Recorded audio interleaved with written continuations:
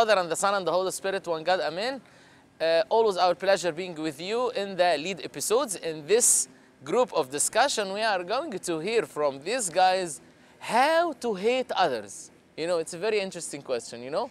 What can you make so that others can hate you? So basically, what can you do so that others will hate you? So how to hate others and how to make others hate you. So we are have a group of haters here. So they are going to teach us how to hate others around us. Okay, please introduce your name. Uh, my name is Amir Tadros. I think uh, probably the easiest way to make someone hate you is to be very controlling. I mean, if you're calling yourself a leader and that's what you're supposed to be doing, yet you want everything to be done your certain way, and if someone does it wrong, you come in and do it yourself, and you come in and fix everything. Mean, that's not working. It's just one person doing everything, and it's not really a team. So being like a micromanager, I think that's probably the easiest way to get someone to hate you because it shows that you don't trust them. You don't think that they're capable of doing what they are basically maybe getting paid or supposed to be we're supposed to be responsible of doing. You know, Amir is giving us a shortcut. So in order to hate, like if you anyone want to be hated by anyone, just be controller. That's it. You will be fine. okay. Introduce your name, please. My name is Thomas Assad, and um, although it's very hard for me to be hated because everyone loves me, in a hypothetical situation, uh, one thing that could easily get anyone to hate you is having pride. So thinking you're the best, and like say if we're talking in a company, thinking that you're the best and you're the only person that's able to like carry out the plan or anything like that, it's gonna be very easy to be hated just just because you have that pride. It, it takes like like a, a, humble person in order to be a, good leader. You know what? Actually, Thomas, in uh, Proverbs chapter 15, verse 25, God said that God destroys the house of pride. So it is really, and this is how others can hate you easily. Yeah. I'm so proud of you. yeah, introduce your name, please. I'm uh, Christopher Metry. Yes, and uh, I think, uh, like, like I'll say, like there's a manager, and if he doesn't treat his employees, everyone the same, then like no, there, there, there's going to be like tension between the people that the are going to make they're, the they're going to make them hate hate the manager and make them hate each other too. Yeah, yeah. Yep. So it's like you know, you mean like it will be a complete destruction to the team. Yeah. Not just between two. Exactly. Between the whole team. Yeah, that's a very good point. So please share with us if like someone did something that really makes you I'm not saying hate because we don't hate, but like like makes you feel uncomfortable dealing with that person. What someone did for you so that you feel you know what i wanna i don't want to be in contact with that person? I remember being at my first job and it was like me just starting like like maybe the first week and whenever i did whenever i did something wrong he would just like get mad at me and in front of the customers just like take whatever i'm doing and then do it himself and then just have me like go back go to the back so it kind of shows that i'm not embarrassed capable. like yeah. embarrassed in front of everyone yeah basically yeah. in front of the customers too yeah yeah okay what about you thomas okay so uh, it was uh, right before Holy Week. We were uh, learning the hymn Kebertu.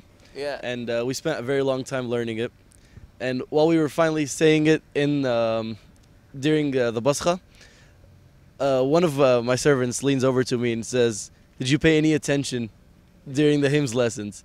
Although I love the servant, he, I truly love the the servant, but it, it kind of hurt my feelings when he said that. But we ended up working it out and. Yeah. Yeah. And you pay attention. Sometimes. Trying to pay attention. What about you, Chris? Um, in one of my jobs, uh, so I started working, and then I noticed that the manager would always uh, talk about other employees, like uh, gossip behind their backs, right? And, like this person did this and this and this, and they're so whatever, and all this stuff. And then it would make me uncomfortable to be around my manager because he's going like, to talk back about you. Yeah, exactly. exactly. That's a good one. Yeah. Thank you so much for that. You know, now we have great tips for us to help others to hate us and to hate others as well. Thank you so much for being with us in this group. Let's go and see how to hate others professionally. You know, this is something good. Thank you so much.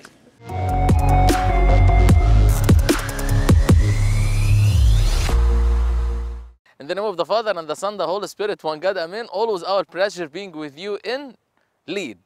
Lead episodes. Be the one, lead the way. We are going to talk today about something very important. We have to apply it together how to hate others. So, we are going to be training you today how to hate others. You know what?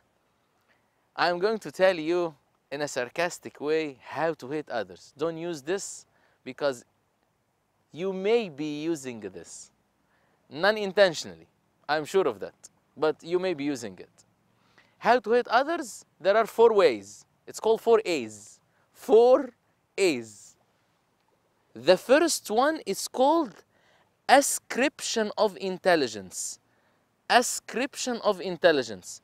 What does it mean? Ascription of intelligence. Ascription of intelligence is basically to deal with others around you that they are stupid, silly, crazy people. You are the only one who is like highly intelligent with the very high IQ. That's how to make people hate you. So, for people to hate you, four A's. The first A is ascription of intelligence. The second one is assumption of criminal status.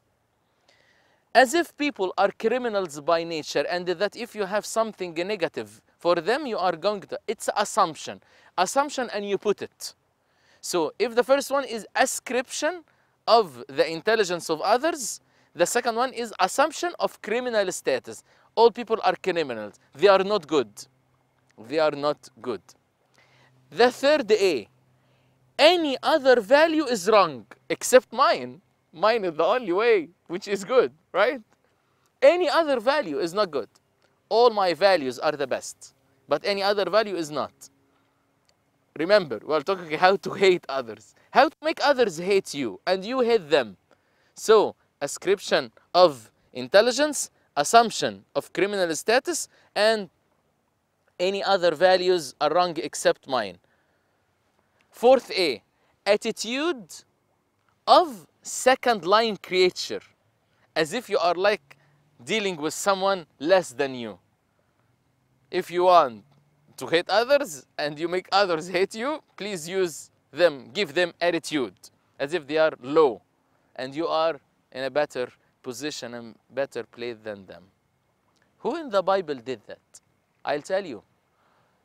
Saul in the Old Testament, he did that with David. He used the four A's with him criminal status and the ascription of the intelligence and all the values of David are wrong, and moreover, dealing with him as if a second line creature, not a human being, even.